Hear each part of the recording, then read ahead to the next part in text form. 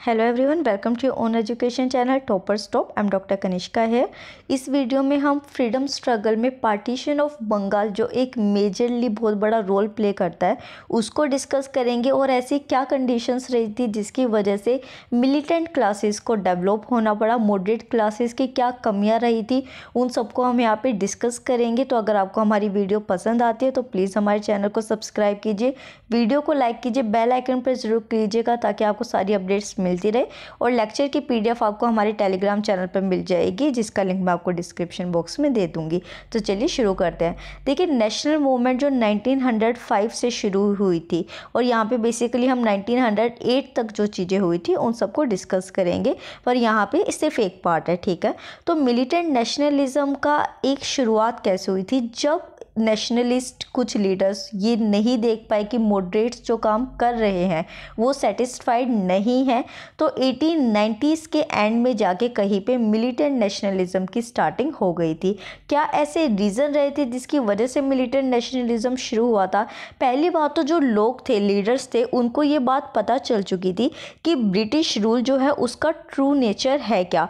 वो नहीं मानने वाली है, चाहे आप उनसे जाके कितना रिक्वेस्ट कर दीजिए, उनको एप्लीकेशंस दे दीजिए। वो ओप्रेसिव हैं करेक्टर में तो वो रहेंगे, वो सिर्फ़ यहाँ पे अपनी डिमांड्स को फुलफ़िल करने आए थे। उसके बाद जो 1892 में ब्रिटिशर्स ने इंडियन काउंसिल एक्ट को पास किया जिसको हमने पिछली वीडियो में डिस्कस भी किया था, जिसमें देखिए बजट को आपको डिस्कस करने को कह दिया, ना तो ये कहा कि आप बजट पे वोट कर सकते हैं, ना ही क्वेश्चन पूछ सकते हैं। तो इंडियन काउंसिल एक्ट को बहुत अच्छे तरीके से क्रिटिसाइज़ किया गया और नेशनलिस्ट सेटिस्फाई नहीं हुए इंडियन काउंसिल एक्ट से।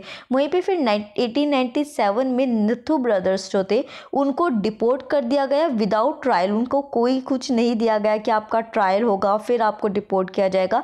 एज इट इज़ उनको डिपोर्ट कर दिया गया और जो बाल गंगाधर तिलक थे, उनको इम्प्रिजन कर दिया गया कि इनके ऊपर सिडेशन के चार्जेस है। फिर 1899 में जो इंडियन मेंबर्स थे कलकत्ता कॉरपोरेशन में, उनको भी रिड्यूस कर दिया गया। तो जहाँ थोड़ा बहुत रिप्रेजेंटेशन मिल रहा था, वहाँ पर भी रिडक्शन की जा रही थी।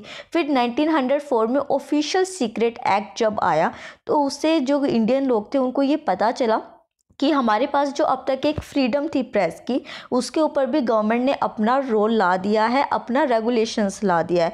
तो यहाँ पे basically freedom of press press को कर्ब कर दिया गया था बाय ऑफिशियल सीक्रेट एक्ट 1904 फिर 1904 में एक और ऐसी एक्ट लाई गई that is Indian university act Indian university act के अंदर ये कहा गया कि जो सेंट्रल गवर्नमेंट होगी, उनका सभी यूनिवर्सिटीज़ के ऊपर बेटर और ग्रेटर कंट्रोल होगा।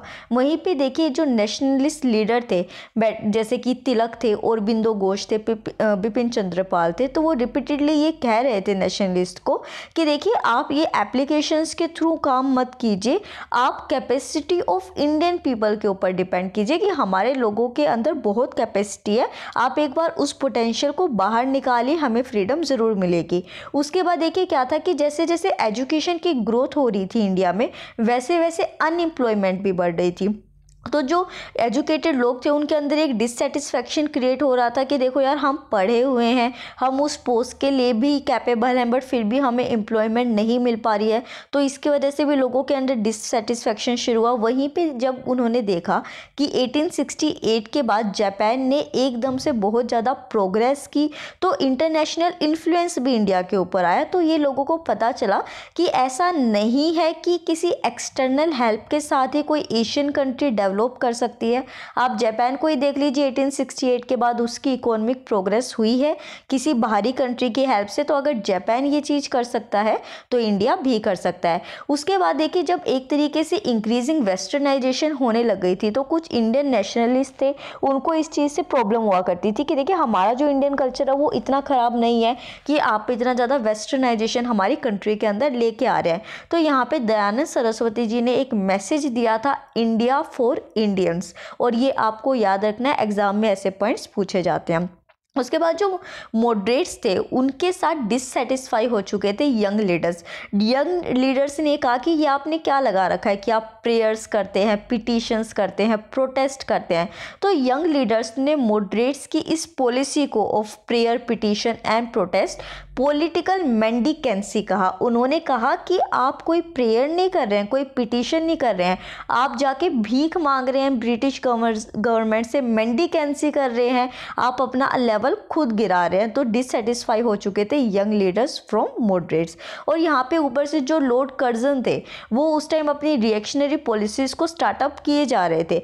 बेसिकली उन्होंने क्या डिसाइड कर लिया था कि हम इंडिया को रिकॉग्नाइज कभी भी नहीं करेंगे कि वो एक नेशन है।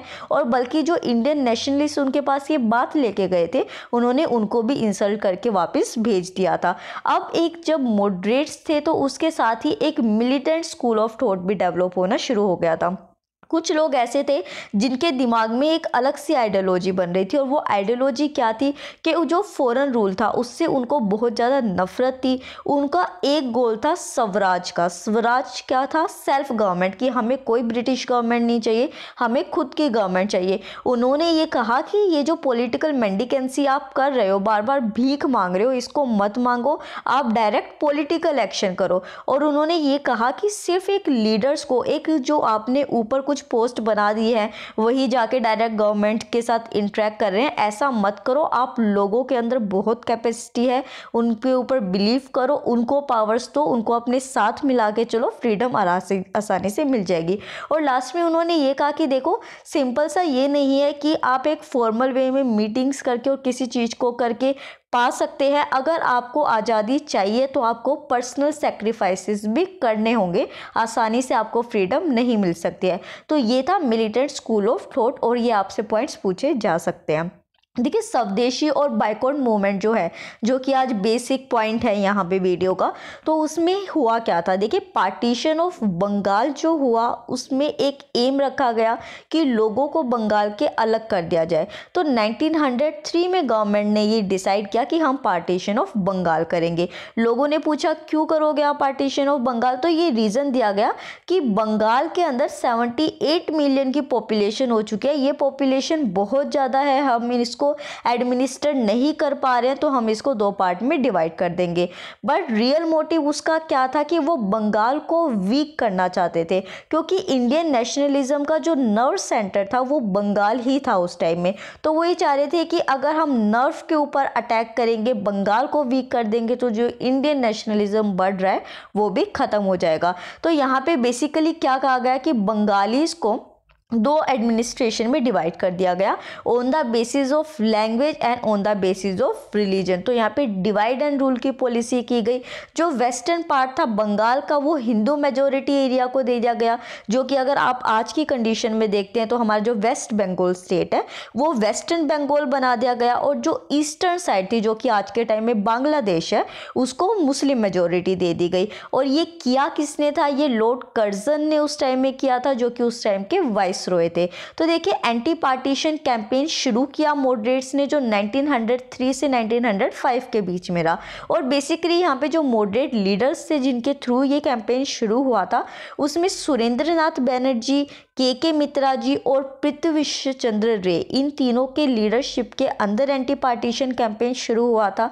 और यहाँ पे बेसिकली इन्होंने अगेन वही चीज़ की थी, इन्होंने मेथड क्या अडोप्ट किया था कि हम गवर्नमेंट को जाके पिटिशंस देंगे पब्लिक मीटिंग्स करेंगे प्रोपेगेंडा लेके आएँगे। और उसी टाइम 1903 और 5 के टाइम में पार्टीशन ऑफ़ बंगाल से रिलेटेड तीन न्यूज़पेपर भी पब्लिश होने शुरू हुए, जिसका नाम था हितबादी संजीवनी और बंगाली। तो ये तीनों न्यूज़पेपर्स के नाम आपको याद रखने, इनका पार्टीशन ऑफ़ बंगाल से बहुत अच्छा खासा रिलेशन था।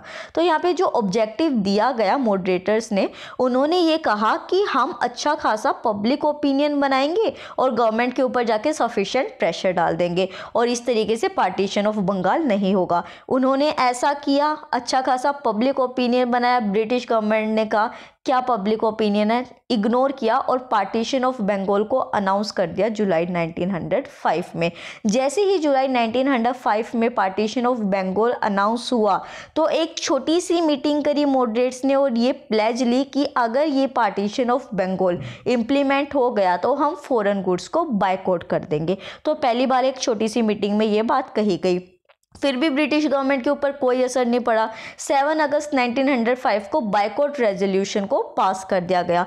जैसे ही बाइकआउट रेजोल्यूशन को पास किया गया कलकत्ता टाउन हॉल में तो जो सब जो मॉडरेट्स थे, उन्होंने भी कहा कि चलो ठीक है, आपने भी रेजोल्यूशन पास कर दिया, अब हम भी एक फॉर्मल अनाउंसमेंट कर देते हैं कि हम स्वदेशी मूवमेंट को लॉन्च करेंगे। अक्टूबर 16 1905 को वो डे था पार्टीशन का, जिसको कि बंगाल में आ डे ऑफ़ मोर्निंग मतलब कि एक उदासीता से देखा गया और एक तरीके से लोगों ने शोक मनाया। थ्रू आउट द बंगाल लोगों ने व्रत रखे, गंगा में जाके हिंदू मुस्लिम्स दोनों ने बात किया, डुबकियाँ लगाई, वहीं पे लोगों ने सब इकट्ठे हुए, नंगे पैर उन्होंने पूरे कलकत्ता के स्ट्रीट्स में घूमे और गाना गाया बंदे मातरम का। देखिए, बंदे मातरम से रिलेटेड भी क्वेश्चन आते हैं। यहाँ पे पूछा जा सकता है कि बंदे मात, बंदे मातरम जो है, वो किस मूवमेंट का पार्ट बना था? तो स्वदेशी मूवमेंट जो पार्टीशन ऑफ़ बंगाल में शुरू हुई थी, उसमें सबसे पहले बंदे मातरम को बोला गया था। इसके बाद एक पॉइंट ये है कि जहाँ पर हिंदू और मुस्लिम्स को डिवाइड कर दिया गया था, वहाँ पर हिंदू मुस्लिम्स ने यूनिटी दिखाई और ये कहा कि आप चाहे हमें कितना डिवाइड कर लीजिए, हम एक दूसरे के साथ हैं और ये शो करने के लिए उन्होंने एक दूसरे के हाथ पे राखी बांधी। तो ये जो था, एक सिंबल ऑफ़ यूनिटी था between two halves of Bengal और यहाँ पे जो मीटिंग्स हुई थी, उसको बेसिकली एड्रेस किया था दो लीडर्स ने सुरेंद्र बैनर्जी ने और आनंद मोहन बोस ने। तो देखिए, ये चीज़, जो मूवमेंट थी, ये बंगाल से शुरू हुई थी। बट धीरे धीरे जो ओल्ड लीडर्स थे, उन्होंने डिफरेंट पार्ट्स में भी इसको फैला दिया था। अगर हम बंगाल के मूवमेंट को देखते हैं तो पूना एंड बॉम्बे में इसको बाल गंगाधर तिलक जी ने फैलाया था। पंजाब में लाला लाजपत राय और अजीत सिंह ने इसको फैलाया था। दिल्ली में सैयद हैदर रजा ने इसको फैलाया और मद्रास में चिदम्बरम पिलाई ने इसको एडमिनिस्टर किया। तो यहाँ पे कांग्रेस की पोजीशन क्या थी? पार्टीशन ऑफ़ बंगाल से।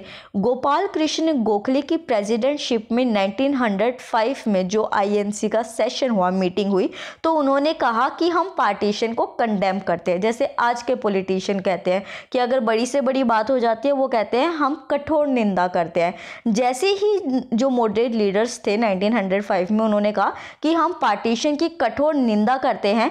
जितने भी मिलिटेंट नेशनलिस्ट थे उनको आ गया गुस्सा। जैसे कि तिलक, लाला लाजपत राय, बिपिन चंद्रपाल और बिंदु घोष, उन्होंने कहा, अरे, कठोर निंदा करके क्या करोगे? एक्शन करो। मूवमेंट करो और इस मूवमेंट को सिर्फ़ बंगाल तक मत रहने दो। इसको डिफरेंट पार्ट्स ऑफ़ कंट्री में भी लेके जाओ। और इसको एक फुल फ्लैज मास स्ट्रगल बनाओ। मास के ऊपर बिलीव करो, सच में ऐसा स्ट्रगल हम करेंगे, सब मिलके करेंगे। और ये पार्टीशन ऑफ़ बंगाल तो ख़त्म होगा ही होगा, हमें भी फ्रीडम मिलेगी। पर मॉडरेट्स ने कहा कि तुम अभी बच्चे हो, तुम्हें नहीं पता है, तुम आराम से बैठ जाओ। और ऐसे कह के जो एक्सट्रीमिस्ट जो थे, उन्होंने ये डिमांड रखी थी, उसको दबा दिया गया। फिर कांग्रेस सेशन हुआ नाइनटीन का कलकत्ता में, और उसमें दादा भाई नरोजी जो थे, उन्होंने ये कहा कि इंडियन नेशनल कांग्रेस इसका गोल है self government that is swaraj. तो एक्सट्रीमिस्ट जो थे, वो थोड़े से शांत हुए कि चलो यार, इन्होंने कुछ तो हमारी आइडियोलॉजी ली। इन्होंने एटलीस्ट अपना गोल तो स्वराज का बता दिया है। अब ये जो मूवमेंट हुई थी, हमने कांग्रेस की तरफ़ से देख लिया कि मॉडरेट्स ने इसको किस तरीके से फॉलो किया था। अब हम देखते हैं कि जो एक्सट्रीमिस्ट लीडरशिप थी, उसके अंडर मूवमेंट कैसे चली थी। तो देखिए, जो एक्सट्रीमिस्ट थे, उन्होंने इस टाइम एक डोमिनेट इन्फ्लुएंस कर लिया था स्वदेशी मूवमेंट में क्यों उसके रीज़न रहे थे? पहली बात तो जो मॉडरेट्स थे, उनकी जो मूवमेंट उन्होंने वो बेचारी आसानी से मीटिंग्स के थ्रू पिटिशंस के थ्रू शुरू की थी, वो फेल हो चुकी थी। वहीं पे जो एक तरीके से गवर्नमेंट डिवाइड एंड रूल का टैक्टिक खेल रही थी, उसकी वजह से नेशनलिस्ट को इस टाइम गुस्सा आ चुका था कि यार ये हमको ही डिवाइड करके हम पे ही रूल करना चाह रहे हैं। उसके बाद जो सप्रेसिव मेजर्स थे गवर्नमेंट उसके ऊपर आ गई थी। उन्होंने स्टूडेंट्स के ऊपर अटैक करना शुरू कर दिया था। ये कहा गया कि जो भी स्टूडेंट ऐसे मूवमेंट में पार्टिसिपेट करेगा। हम उनको यूनिवर्सिटी से निकाल देंगे, उनकी स्कॉलरशिप कैंसिल कर देंगे, उनको आगे गवर्नमेंट जॉब नहीं मिलेगी। और जो बंदे मातरम एक तरीके से गाया जा रहा था, लोग गा रहे थे बंगाल पार्टीशन के टाइम उसके ऊपर बैन लगा दिया गया और इवन ये भी कह दिया गया कि आप कोई भी पब्लिक मीटिंग नहीं कर सकते हैं। तो यहाँ पे एक तरीके से न्यू फॉर्म ऑफ़ स्ट्रगल शुरू हुआ। न्यू फॉर्म ऑफ़ स्ट्रगल में सबसे पहले फ़ॉरन गुड्स का बाइकआउट किया गया। यहाँ पे औरबिंदो घोष ने लोगों को कहा कि देखो, आपको हर चीज़ करने से मना करना है। जो भी अब ब्रिटिश एडमिनिस्ट्रेशन को आसान बनाती है मतलब हमारी हेल्प से जो चीज़ें होती है, आपको वो सब रिफ्यूज़ करनी होगी। आपको बाइकआउट ऑफ़ फॉरेन गुड्स तो करना ही करना है, आपको बाइकआउट ऑफ़ सर्विसेज़ भी करनी होगी। वहीं पर पब्लिक मीटिंग और प्रोसेशंस किए गए। पब्लिक मीटिंग्स और प्रोसेशन का यहाँ पे क्या रोल था कि मास मोबिलाइजेशन इससे कराई जा सके। उसके बाद समितिज बनने लगी वॉल्टियर्स वॉल्टियर्स मतलब कि किसी के ऊपर ये चीज़ नहीं कही गई कि आपको कंपल्शन ये है, आप आओ अपनी मर्ज़ी से और इन समितियों में भागीदारी करो। तो समितिज बनाई गई तो यहाँ पे अश्विनी कुमार दत्त ने स्वदेश बंधव समिति बनाई थी at the time of partition of Bengal और ये आपको अच्छे से याद रखनी है। फिर देखिए, जो जितने भी ट्रेडिशनल पॉपुलर फेस्टिवल और मेलाज हुआ करते थे उस टाइम में तो क्या होता था कि उस टाइम में जो फेस्टिवल और मेले हुआ करते थे, लोग अच्छे खासे अमाउंट में वहाँ पे इकट्ठे हुआ करते थे सेलिब्रेशन किया करते थे। तो बाल गंगाधर तिलक ने गणपति फेस्टिवल और शिवाजी फेस्टिवल को एक मीडियम बनाए जिसके थ्रू वो अच्छे खासे लोगों के अमाउंट को स्वदेशी प्रोपेगेंडा बता सकते थे। उसके बाद जो एक्सट्रीमिस्ट थे, उन्होंने ये कहा कि आप सेल्फ रिलायंस पे मतलब आत्मशक्ति के ऊपर एम्फेसिस डालो। आप ये देखो कि आप अपने अंदर रिफॉर्म ला के सोशल रिफॉर्म कैसे ला सकते हो और कैंपेन को आगे कैसे बढ़ा सकते हो। फिर स्वदेशी और नेशनल एजुकेशन के प्रोग्राम बनाए गए। उन्होंने कहा कि ठीक है, इन्होंने 1904 में यूनिवर्सिटीज़ एक्ट पास करके यूनिवर्सिटीज़ को अपने अंडर कर लिया। हम अपनी खुद की स्वदेशी यूनिवर्सिटीज़ बनाएँगे। तो यहाँ पे बंगाल नेशनल कॉलेज बनाया औरबिंदो घोष ने और वहीं पे 1906 में national council of education setup की गई, जिसके अंदर लिटरेली साइंटिफिक टेक्निकल एजुकेशन भी दी गई बट ऑन नेशनल लाइंस की हमारी स्वदेशी बेसिस के लाइंस पे होना चाहिए। और ये जितने भी ऑर्गेनाइजेशंस बनाई गई थी, वो नेशनल कंट्रोल के अंदर ही थी। फिर उसके बाद ये कहा गया कि अब हमें ब्रिटिश गवर्नमेंट के गुड्स के ऊपर डिपेंड नहीं रहना है तो स्वदेशी और इंडिजिनस इंटरप्राइजेस को यहाँ पर बनाया गया।